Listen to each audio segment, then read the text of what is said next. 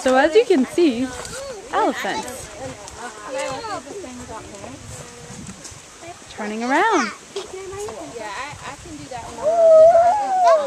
Because that's not a, um, it's a. Ooh, I can use my binoculars and zoom up.